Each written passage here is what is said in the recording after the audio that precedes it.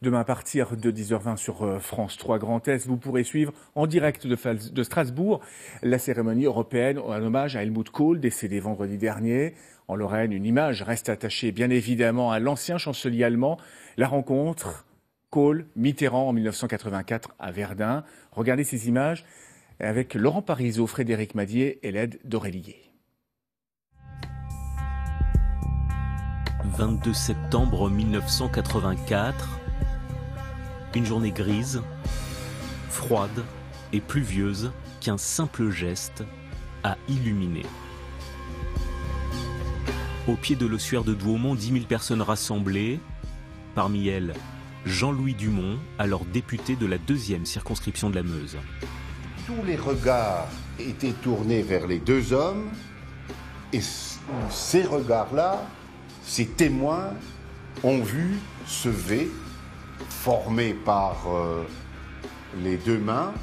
Je pense qu'on n'a peut-être pas mesuré sur l'instant l'impact qu'aurait ce geste, mais l'on a pu mesurer ce que représentait une volonté politique forte, marquant que ce qui avait été fait était exceptionnel et que ce geste nous offrait des horizons nouveaux.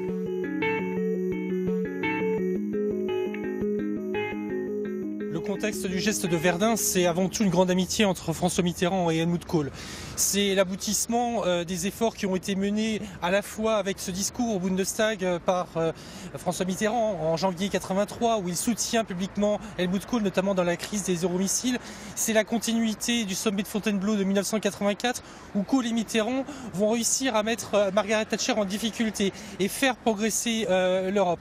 Donc on a ce contexte qui est très favorable. En même temps, c'est aussi quelque part un pardon pour François Mitterrand qui n'a pas invité Helmut Kohl au 40e anniversaire du débarquement. Et c'est une façon de s'excuser pour venir sur un lieu qu'ils connaissent tous les deux, familialement, personnellement. Un geste devenu un symbole universel, repris par des caricaturistes du monde entier, il incarne la réconciliation de deux peuples qui se sont affrontés. Une réconciliation en présence d'anciens combattants de la bataille de Verdun ce sont eux qui, à la base, ont voulu cette réconciliation parce que d'un côté comme de l'autre, ils ont souffert pendant ces quatre années atroces et ce sont eux qui sont en quelque sorte les premiers initiateurs de cette réconciliation.